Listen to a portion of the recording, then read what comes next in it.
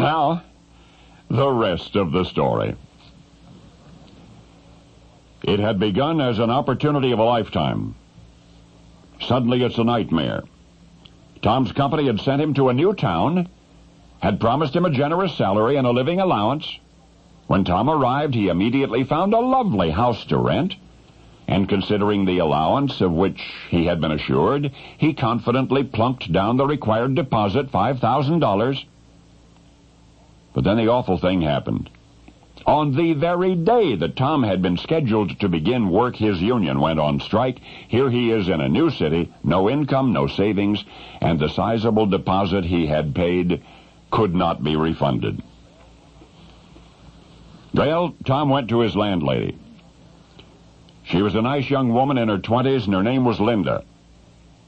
And Tom explained to Linda what had happened that he had no idea when he might be working again, but that he really did like the house, its architecture, its location. He wondered if there was any way that she might permit him to stay until he could start earning money again. Well, Linda was sympathetic, and yet she too was in a bind. She'd bought that house to fix it up for herself to live in, and yet when the cost of renovating it had proved too steep, she was forced to rent it out and move into the apartment above the garage. Linda loved the house, but if she didn't rent it, there'd be no way that she could afford to make the necessary repairs. And there were many. There was woodworking and roofing and painting to be done and mending fences and landscaping. And then Tom, smiling, interrupted. The situation was perfect, he said. Landlady Linda needed her house renovated, and Tom had nothing but time on his hands. And he, by the way, had done construction work, just this very sort of thing, and he loved it. Linda said she could not afford to pay Tom very much, just $7 an hour, but Tom said that would be fine as long as he earned enough to pay his rent so that he could live in this wonderful house. Well, the two of them shook hands, and Tom went to work. With craftsman-like skill and patience, he performed all manner of carpentry, and plumbing. He made electrical repairs, in addition to which he tended the garden, and he lawnscaped the yard, and he painted.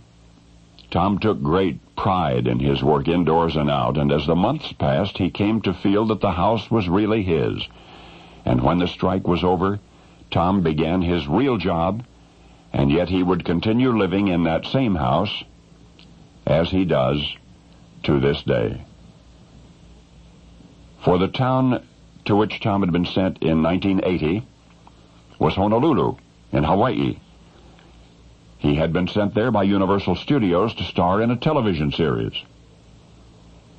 For Linda, the landlady will never forget the day that a flat-broke unknown actor begged to be hired as a handyman so that he could live in her home while waiting for a Screen Actors Guild strike to be settled so that he then could start work on a new television program called Magnum PI. Of course, by now you know Lucky Linda's personal handyman as Tom Selleck. Only now you know the rest of the story.